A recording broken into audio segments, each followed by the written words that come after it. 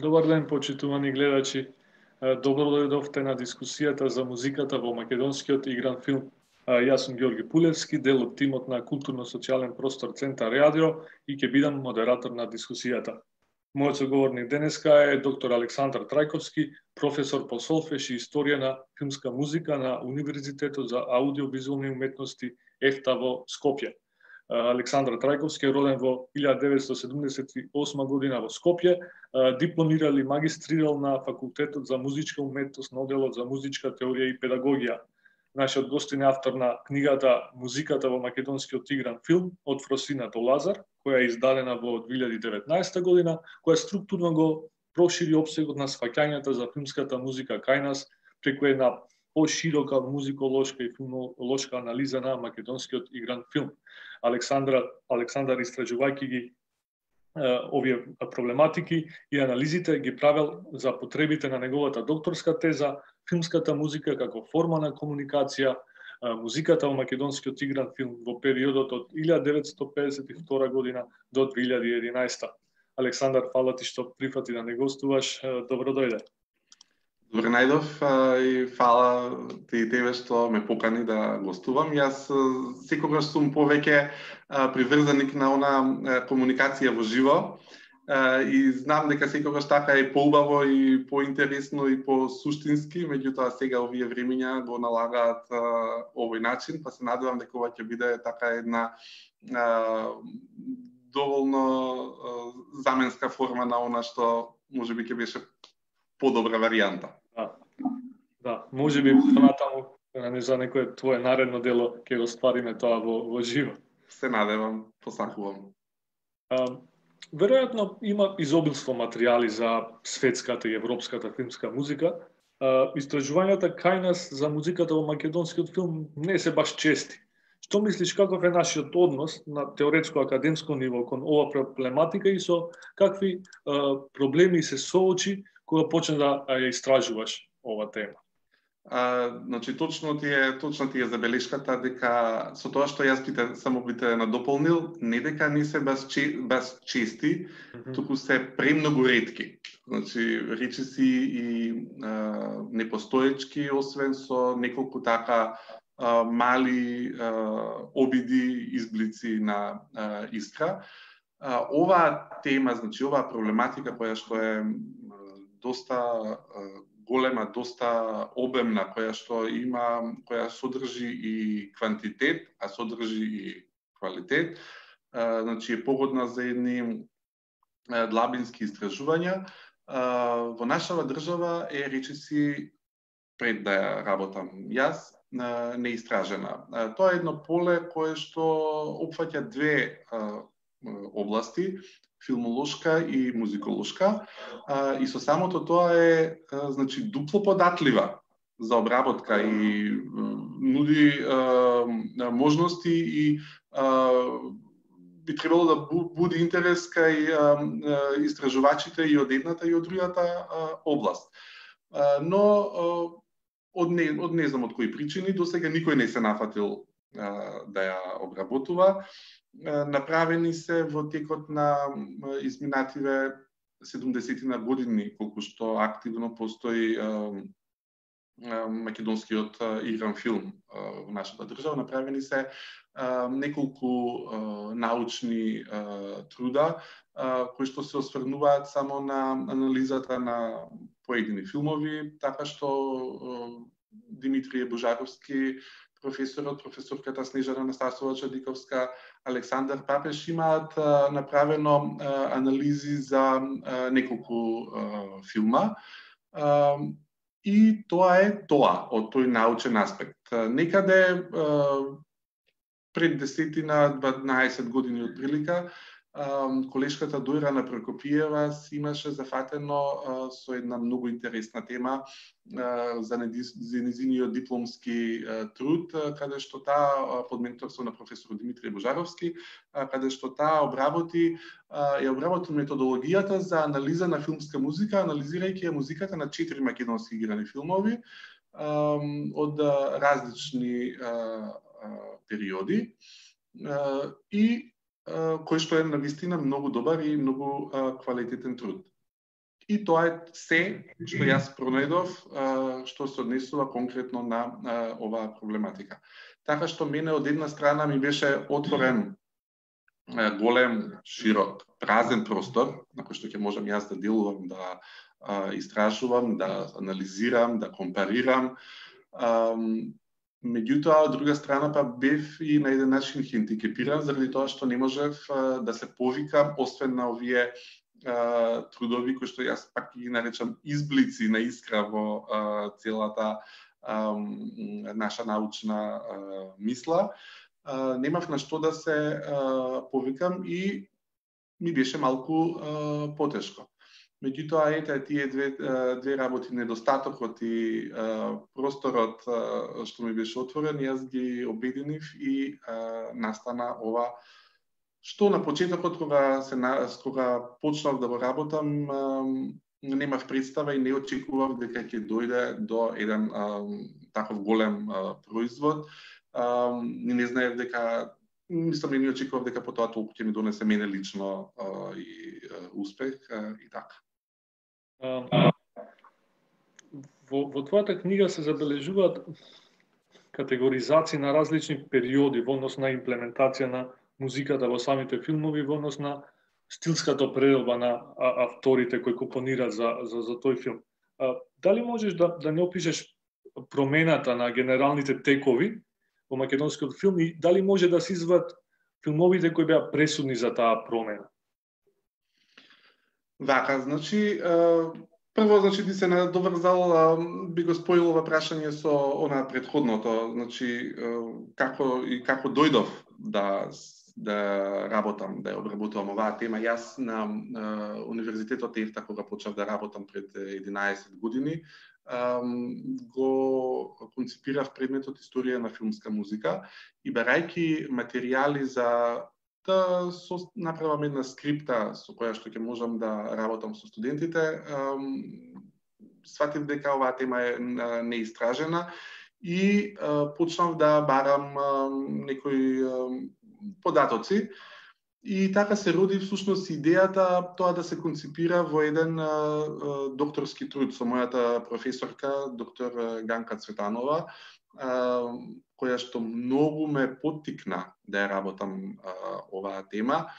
А, ја финализиравме и дадовме а, една форма и всушност таа е најзначајниот човек кој што од со кој, од која што почна се, која што ми даде еден поттик, верба дека може да се направи ова и потоа со незе ги дефиниравме сите тие параметри, сето она што јас го истражувам, зашто најверојатно ќе стане збор во текот на овој наш разговор.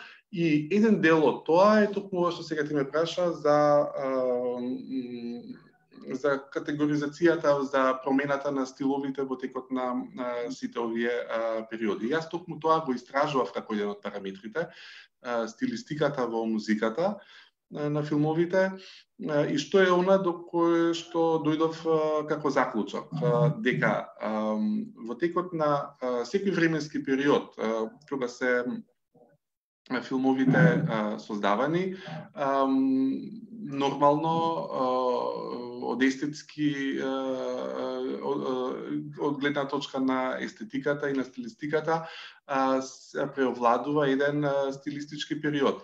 Композиторите кои што ја создавале музиката,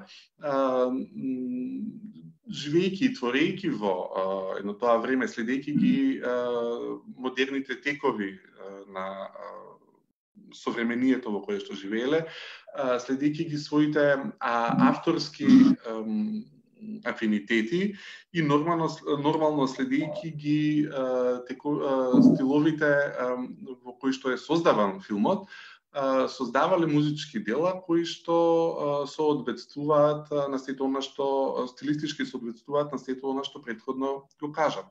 Така што на почетокот, на пример, во 50-тите години, тука се а, може да се забележи една нитка на ам, влијание, на тенденција на западноевропските а, композиторски школи и влијанија. Големи влијание на доцниот романтизам во одредени дела со вметнување со влијание на македонскиот авторски авторски фолклор, македонскиот фолклор со авторски подпис на композиторите. За потоа во текот на 60-тите, на 70-тите години малку така да се да се отвараат да се одикон оние послободни малку стилистички рамки, тука се воведува и симфонизираниот джез, джез музиката, кој што потоа исто во 80-тите години добива и за одреден замав со со посебно со делувањето на композиторот Илија Пејовски, за од 90-тите години навака да може да се е, забележи она оној тренд на е, европски и светски тренд на ветнување на семплери, на електронска музика, исто со обработка на традиционални нумери, меѓутоа видени низ еден модерен аспект, низ еден модерен аранжман.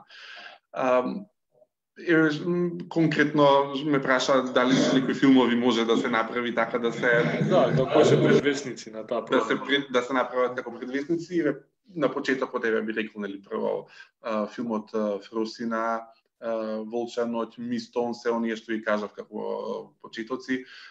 Потоа во 60-тите години Мирно лето филмот нуди еден еден многу свеж музички стил, една свежа музичка партитура со еден така призвук, еден водвилски карактер, со еден симфонизиран джез.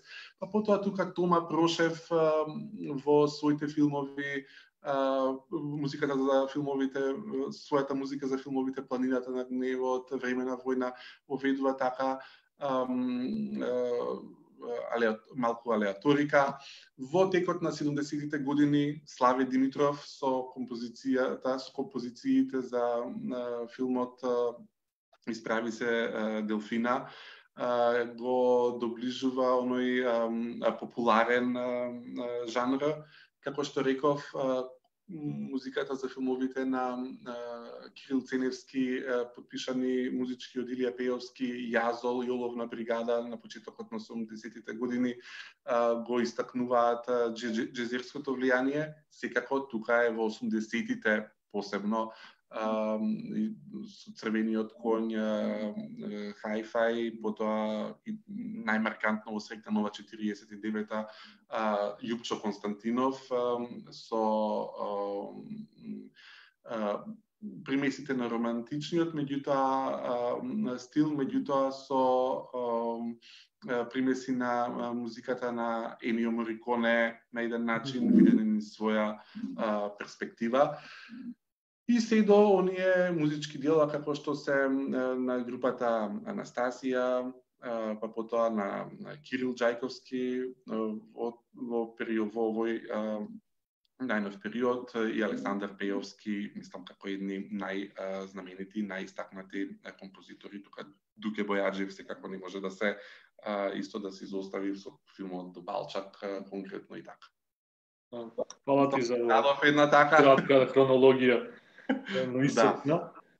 Се ми инспирира слушајките.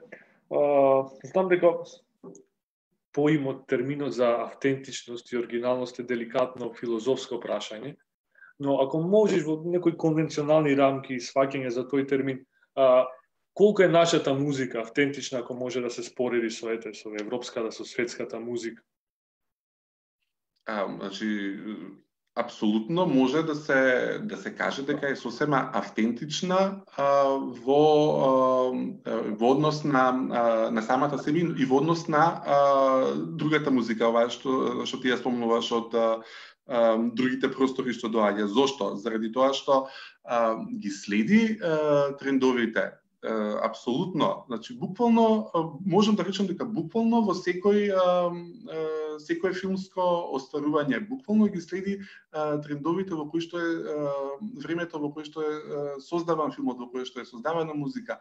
Меѓутоа секој композитор има оригинален печат на она како ја како ја конципира и како ја создава својата музичка подложка. И токму тоа е она што го прави, што ја прави автентичноста на самото дело.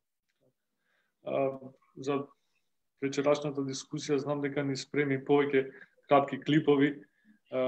ако можеш да, да сподели сега еден краток клип за нашите гледачи да објасниш што што ќе па, јас... на кратко. Сега ќе првиот клип што сакам да го пуштам, тоа е тоа се исечоци од првите македонски играни филмови, почнувајќи од филмот Фросина, потоа Волча ноќ, Мистон, каде што ќе може да, да речеме некои 4-5 минути така да може неколку исечоци да се нашите гледачи вечерашни да оние кои што не знаат да се запознаат, оние кои што знаат да се подсетат на она како почнувал историскиот пат на македонската филмска музика.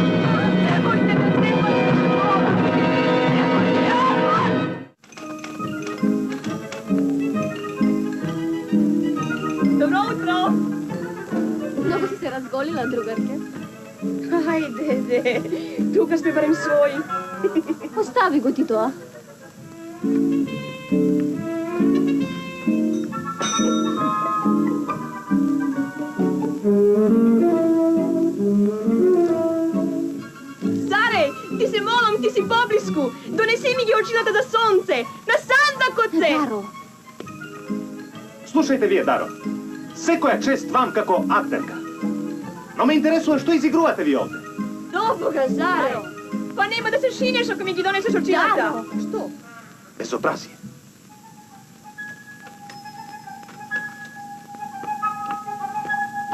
Воопшто не ми е јасно. Зошто не ме трпи? А, тука сте. Добро, добро. Е, Повелите, влезете, тука сте. Еде.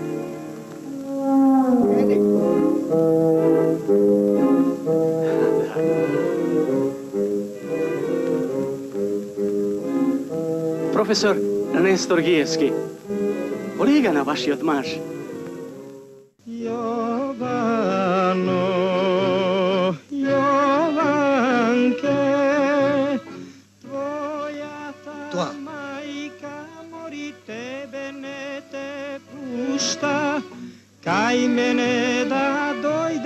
Душо, срце моје Јовано.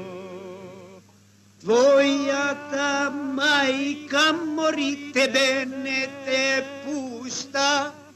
Кај мене да дојдеш душо, срце моје Јовано. Прстен Мислам дека Да. Мислам дека беше интересен изборот, нели? Како што реков од Фрусина, потоа Волча ноќ, Мистон, а, Мирно лето со луските атентатори. Сакав да представам и она а, она сцена од филмот со луските атентатори каде што актерот Петри Приличко а, се вклучува во интерпретирање на музика. А, јас во мојата книга го, го евидентирав буквално а, секој оној кој што а, испеал, одсвирел, а, испеал мелодија, одсвирел а, нешто на некој инструмент и ги евидентирав сите актери кои што се вклучиле со некоја музичка интерпретација и можам да речам дека актерот легендарниот Петре Приличко е актер кој што најмногу пеел во, во филмовите, речи си да нема улога во одреден филм каде што тој барем поеве по некој некој стих не нема испеано. Нераклија. Ераклија, да, да. За тие што се вклучија а, подоцна, само да повторам дека имаме дискусија за музиката во македонскиот игран филм. Мојот соговорник е доктор Александар Трајковски, професор по историја на филмска музика на Универзитетот за аудио и визуални уметности. Секој што ја следи ова дискусија може да напише некој коментар, па потоа ќе биде адресирано до нашиот гост. Во твојата книга веројатно имаш исто и некоја категоризација на домашни и а, странски автори. А, дали можеш да ни кажеш а, колкав е соодносот и дали има некое а, непишано правило кога се најмуваат едните, а кога другите? Во а, целокупното еве трајање на тој 70 годишен а, пат се испреплетувале македонските домашните автори со а, странските автори. А, тие странски автори а, на почетокот во 50-тите, 60-тите години биле автори од српските од српското подрачје, од хрва, од хрватското, од словенечкото, многу знаменити и истакнати композитори на југословенската филмска музика. Тоа може да се поврзе и со тоа што на тие на филмовите од почетниот период исто и режисерите не биле секогаш македонци, туку биле биле гости од Србија, од Хрватска. А, зошто е тоа така? А, во тој период а, посебно а, ова е еден нов а, жанр кој што се јавува и нашите македонски композитори немале многу искуство во тоа. Предпоставувам ова е некоја предпоставка и може не биле толку опитни да да создаваат, меѓутоа како потоа поминуваат годините, се повеќе се зголемува нивниот број и се повеќе во втор план паѓаат нели гостите од странство. Така што веќе во 80-тите години се ја, сите филмови се подпишани само од македонски композитори, Христо Аврамовски, Димитри Божаровски, Липчо Константинов, кој што е автор на музиката на за најмногу филмови воопшто, за девет филмови, Илија Пејовски. За подоцна во овој најнов период, последниве 20-25 години, да доминираат македонските композитори, меѓутоа да се прават, бидејќи филмовите се работени во копродукција со други земји, да гостуваат и композитори кои што се од надвор од нашите простори. А, во твојата книга... Не, не, не, тол, толку. А, во, во твојата книга исто имаш така многу интервјуа со композиторите кои создавале а, својата а, музиката за, за, за филмот. Може да ми кажеш а, кои се некои главни елементи, дали има некои заеднички нишки, како ја создавале музиката, која била инспирацијата? Да, и значи не само со композиторите, туку и со а, режисерите. Значи вкупно во мојата книга има 22 а, интервјуа. А, и тоа не се интервјуа а, кои што се цитирани, кои што се дадени за некој друг медиум или за некоја друга а, намена, туку тоа се а, оригинални и автентични интервјуа дадени за создавањето на а, оваа книга кои што јас ги правев реков 22, 9 со 9 режисери и со 13 композитори од буквално сите временски периоди, освен од периодот на 50-тите да години, кога што од кои што сите се за за жал починати. Меѓутоа од 60-тите години па навака се буквално сите периоди покриени. Заклучокот за оно што ме праша е генерален. Како се создавала музиката? Музиката е најчесто производ на еден на заедничко гледање на спојување на режисерските концепти и композиторските концепти. Значи, композиторите соработуваат со режисерите на филмовите, ги кои што имаат кои што си имаат своја замисла, кои, што си имаат своја визија за она како би требало да биде и што би требало да биде покриено музички во одреден филм. Нормално секој со своите сугестии па потоа се спојуваат тие концепти, се некаде се има да не ги прераскажувам се буквално интервјуата, меѓутоа на тие што ќе се заинтересираат може да прочитаат а, каде се има а, се, оној креативен конфликт чие мислење ќе ќе надвладе. Меѓутоа сето тоа условно речено конфликт, значи се е во во функција на на уметничкото дело, да, на, на креативноста. и на, на мене многу ми беше интересно тоа што самите режисери а, буквално а, точно знаат а, знаеле што и како сакаат а, да добијат од да добијат од филмот. А, и потоа композиторите не случајно се настанати посебно тие соработки помеѓу одреден композитор и одреден режисер. Тие предходно се сите речиси сите си имаат предходно познавано меѓу себе си ги имаат познавано своите афинитети во областа на уметноста и не случајно се направила се направиле тие спојки кои што потоа го родиле и го создале она што ние подоцна сме го слушнали, сме го виделе како дел од понудата. А, може сега да ни го покажеш и второто клипче, да ни кажеш да. за, за второто клипче второто клипче би сакал да биде од ова како што реков ова беше нешто од почетоците.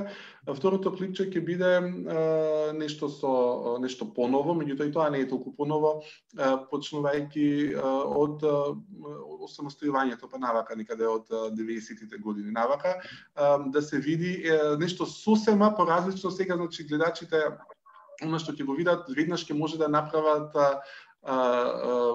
споредба и евидентна разлика помеѓу начинот, помеѓу видот, стилот на она што го слушнавме досега со она што ќе го слушнеме сега. Да ги пушта може, така? Да, да.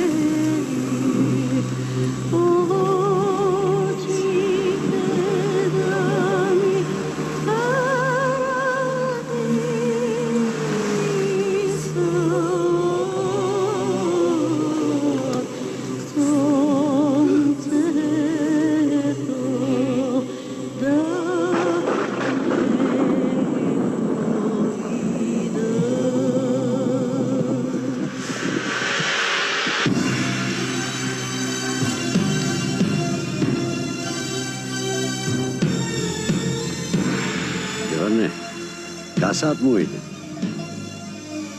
Долу ќе врне. Ајде, време е. А времето не чека. А и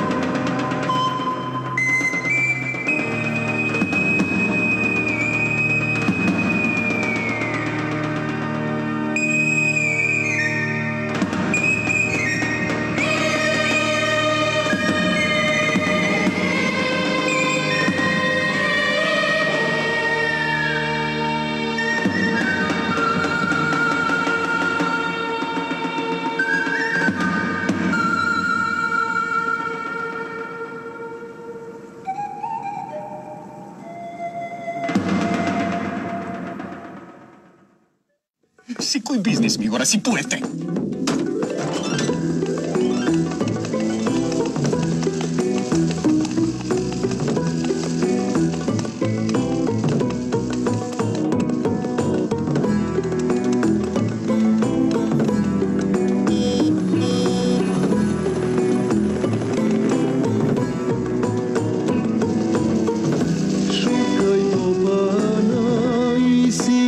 mana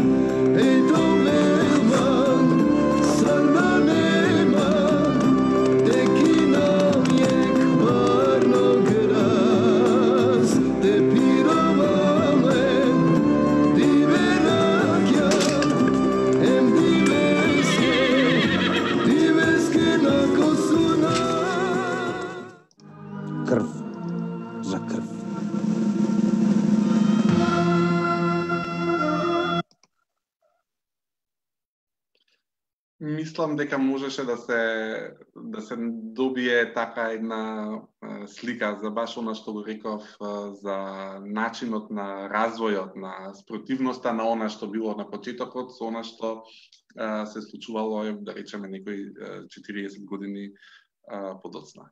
Со ова избор, со овој избор што го видовме, ова беа избор од многу популарни филмови, филмот Викенд на мртовци, филмот Тетовирање, пред дождот, преку езерото и Gypsy Magic. И сакал само да прочитам да еден коментар од еден гледач. А, македонскиот филм никогаш не страдал од лоша музика. Напротив, музиката често покривала лоша режија или уште полоши сценарија. Од Трајко Прокопиев, која напиша музиката за филмот Фросина, до Игор Василев, кој компонираше музика за филмот Врба. Нашите композитори повеќе или помалку секаде добро или дури одлично си ја завршиле својата работа. Вашиот гостин го храбрувам да го прошири полето на истражување, па да објави публикација за музиката во современиот македонски театар. Коментарот е од господинот Сотир Трајков. Благодарам. Јас многу го поздравувам господинот Сотир Трајков. Мислам баш ми е драго што се лично не го познавам, меѓутоа баш ми е драго што даде еден ваков коментар. Во однос на тоа, музиката во современиот театар, тоа е исто едно така неистражено поле, една една материја која што има и тоа како материјал за за истражување и во догледно време, па сега здравје Боже, ако не јас, некој друг, би бил убаво да се нафати со тоа и да се направи исто вака една книга и да остане како едно сведоштво за она што се случувало и во таа област. По правило, композиторот твори по, по филмот, по сценаријата, по идејата на, на режисерот, но кај нас има склучен интересен исклучок, Тоа е со филмот Мементо. Може да ни кажеш повеќе за тоа? А, да, а, генерално, значи, композиторите, а, не ли реков пред, со пред, во предходен договор, во предходна комуникација со режисерите, а, ја осмислуваат музиката и а, што е сосема нормално инспирацијата ја а, влечат од самите сценарија, од самата филмска приказна. Меѓутоа има еден куриозитет, тоа е како што рече ти за филмот Мементо на на режисерот Димитри Османли, а, а чија што музика има напишана композиторот Бојан Адамич. Самиот филм е, за разлика од другите, е плотна инспирација од едно музичко дело, а тоа е да би рекол вон временската композиција Рапсодија за Скопје на нашиот еминентен композитор Александар Джамбазов. Режисерот Димитри Јонспанли инспириран и воодушевен од композицијата Рапсодија за Скопје, која е напишана веднаш по земјотресот и со која што Джамбазов освојува прво место на еден светски натпревар во Италија решава да направи дело кое каде што ќе биде инкорпорирана вметната како составен дел и како една оска на филмското случување, токму композицијата Рапсодија за Скопје. И во неа во филмот се концертно е изведувана на на пијано таа композиција во универзалната сала, која што исто символ на пост земјотресно Скопје и, и има баш така многу добри концертни кадри каде што режисирот многу убаво на еден многу убав и пријатен визуелен начин го представува самото концертирање. И токму овој филм може да се издвои по својата специфика токму тој аспект. Дали веќе кога сме кај некои вакви интересни факти, а, дали има некој филм кој што воопшто нема музика? Да, да, точно. А, што може би за некој изненадувачки, може би некој некој забележал тоа. Точно тоа е еден филм има таков во а, историјата на македонската кинематографија, македонскиот игран филм. А, тоа е филмот а, Црно семе првиот филм на на режисерот Кирил Циневски, кој што еве по некоја символика на денешен ден почина минатата година, значи одбележуваме денеска една година од неговото заминување од овој свет, а тој остави на вистина четири исклучителни филма, тоа се Црно семе, филмот Јад, Оловна бригада и Јазол, кои што сите, значи, морам да кажам, секој од нив е многу интересен од музички аспект, вклучително и Црно семе, кој што нема ни еден тон музика. Зошто е тоа така? На почетокот Кирил Циновски го поканил композиторот Илија Пеовски да ја пишува музиката за Црно семе Кирил Ценевски сакал да има не, некаков вид на музика и го поканил Пејовски. Меѓутоа, спор, според мислењето на Пејовски дека било каква музика ќе го расипе филмското филмскиот впечаток, филмското действие, Кирил Ценевски го послушал и одлучил да нема музика. Меѓутоа, сепак се двоумил и мисел дека на крајот последната сцена кога Дарко Дамевски актерот се искачува по ридот, ако се сеќавате, сакал да ја музички да илустрира со композицијата со народната песна со мајке сум се родил. И Пејовски повторно тука му сугерирал дека и вметнувањето на сам и на и на таа нумера само ќе го уништи, ќе го а, расипе целиот филмски впечаток. Ценевски се сложил со тоа. И а, така е настанат а, филмот Црносен без еден тон музика и на вистина гледајќи го а, може да се забележи дека музика таму и не недостасува. Меѓутоа како еден куриозитет останува исто во а, аналите запишано во некои од поновите кои гледаме доста миксови кога се работи за, за, за музика, доаѓа, некој доаѓа од фолклор, некој потоа имаме семплувана музика. А, дали во твоето истражување а, дојде до некој заклучок во нас на а, колку музиката во македонскиот филм е намески креирана, колку е семплувана, а, колку е земена од фолклорот, дали има е, инфлуенца нашата религија во музиката? Uh, да, да, значи генералниот впечаток е значи дека станува збор за uh, и не впечаток него генерал факти се тоа дека станува збор за наменски компонирана, uh, оригинална, автентична музика со авторски композиторски подпис на сите овие композитори кои што ги направив и не само овие што ги спомнав, туку и уште многу други. И токму тука е автентичноста на самото филмско дело, затоа што станува збор за музика со за филм со ам, оригинална, осмислена и изработена а, музика. Секако, а, тука се испреплетуваат а, и а, разни обработки, мотивски разработки на а, други дела, рековте, фолклорот фолклорот е во изобилство, користен во а, а, музичките, во музичката поддршка на филмовите. Покрај тоа што голем број композитори, почнувајќи уште од почетокот, уште од Фрусина, на Трајко Прокопиев што го имавме, па се до се до ден денешен небе конкретно со музиката и на Игор Василе, потоа и на Ѓајковски, значи се употребуваат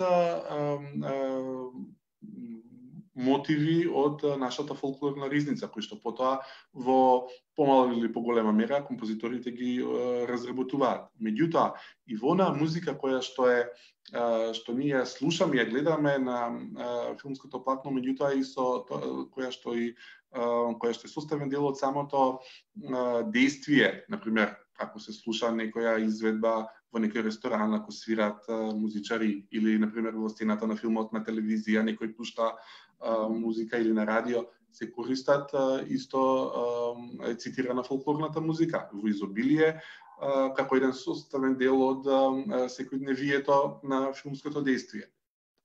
Што се однесува на а, музиката од а, други подрачја, од а, користени се во изобилство како цитати, токму како таа иманентна музика која што ја гледаме во филмското действие, голем број примери од европската и од светската музичка литература, од сите временски периоди, уште од романтизмот, па потоа од современиве современите текови, зависно тоа што што бара самото филмско действие исто така духовната музика. Духовната музика е користена исто така во вака во форма на цитати, меѓутоа во некои филмови е, обработувана.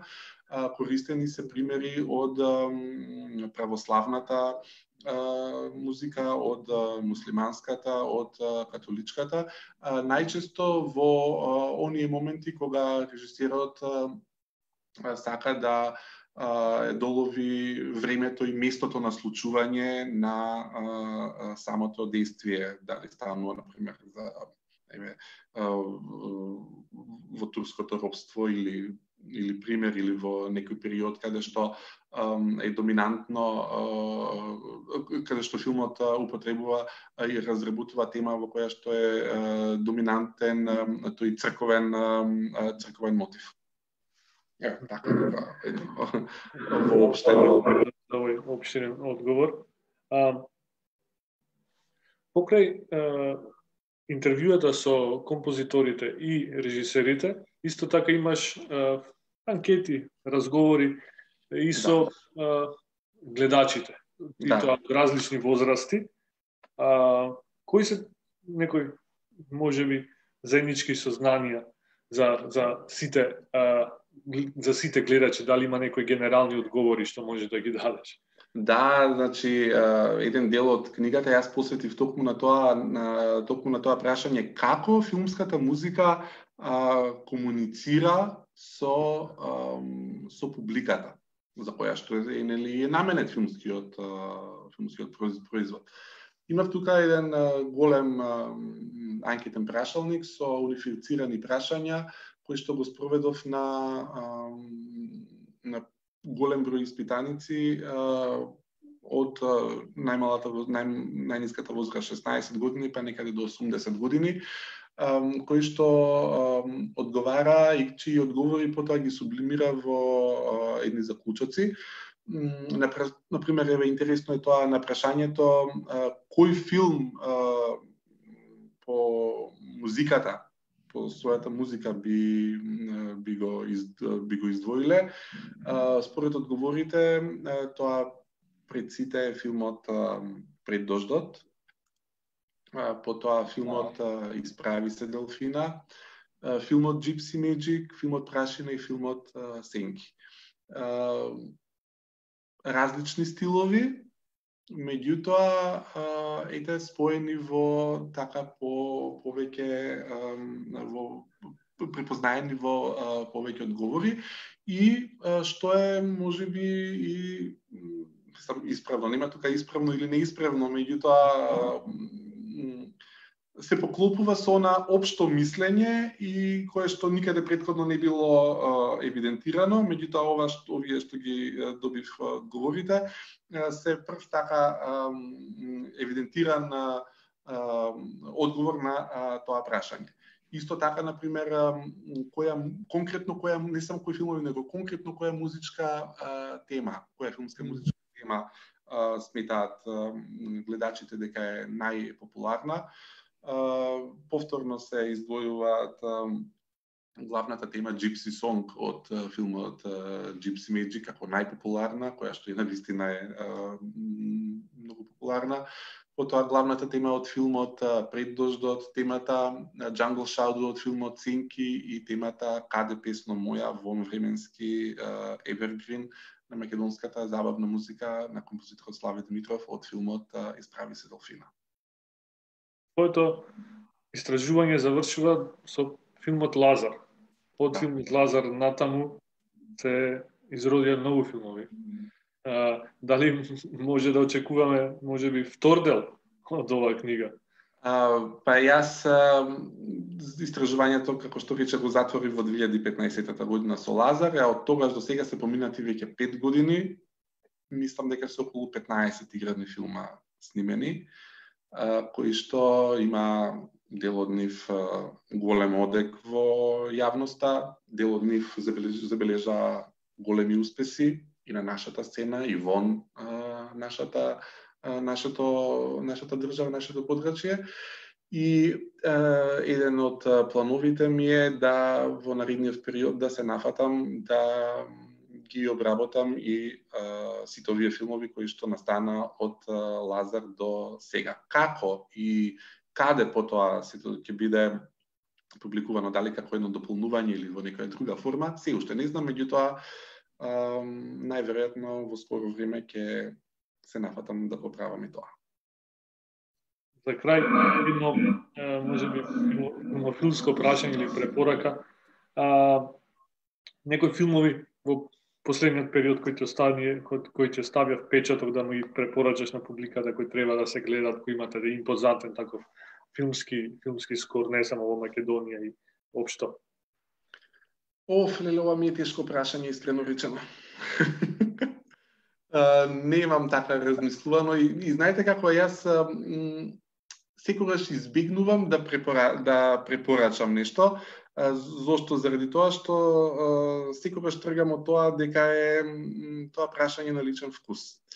И не секогаш мислам дека ќе се поклопи моето гледање со гледањето за она што е убаво интересно на другиот и никогаш не би сакал да а, сугерирам. А, најчесто сакам да зборувам а, кога некој ќе ми каже дека нешто гледал или нешто слушал, а исто јасно го имал видено тоа или слушал, да дискутираме околу тоа, отколку да, да наметнувам своje мислење. Во моментов не можам да дадам некој, некој, некоја препорака конкретно, на вистина не можам да не, не можам во моментов сега да се сетам што би што би издвоил.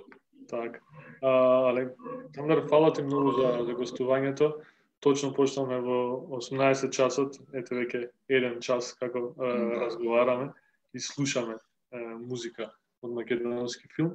А, фала ти уште еднаш многу за твоето гостување се надевам дека не за некој нареден проект ќе го правиме ова вака во еден физички простор. Јас исто на почетокот се да благодарив, ама и сега уште еднаш фала ти на прво на поканата, потоа на многу убавата реализација на, на ова, ово интервју, овој разговор, ова предавање, како и да го наречеме, ми беше задоволство да е, зборувам со тебе и се надевам дека оние, она што го кажавме предизвика колку толку интерес и оние што гледа, мислам дека беа задоволни од она што а, имав да кажам. Фала и за сите што ја гледавте оваа дискусија. Пријатна вечер. Чао.